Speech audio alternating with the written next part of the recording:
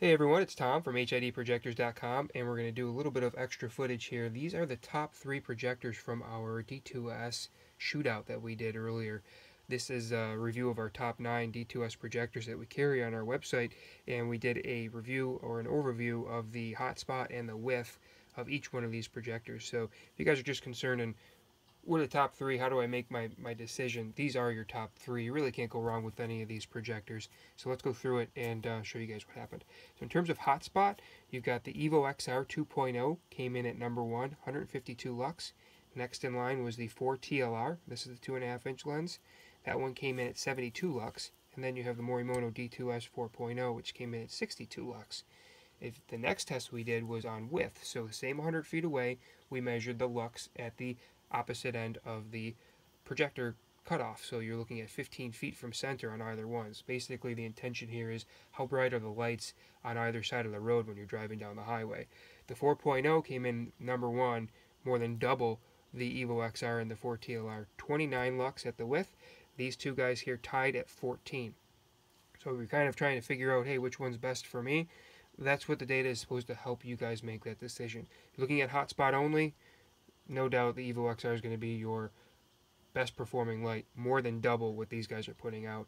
Uh, if you're looking for width, the 4.0 is probably your best choice given that it's double the output of these two. If you're looking for mounting options, the 4.0 is probably the most universal. You got a threaded mount back here if you're going to do the, the mount them in the actual reflector. You've got lots of good mounting options up here if you're going to do a nut and bolt method.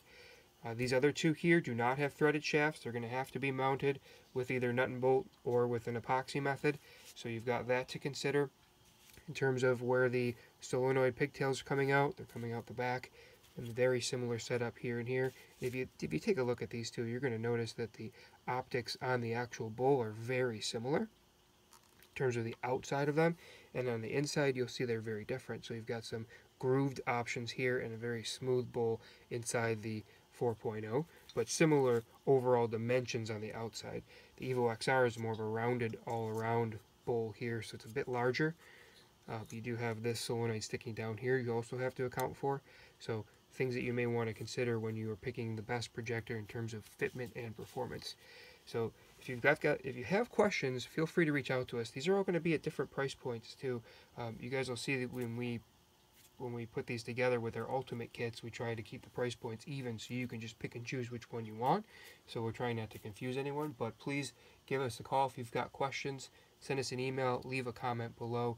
We're always available online at hidprojectors.com or you can reach out to us directly at 716 662 3479.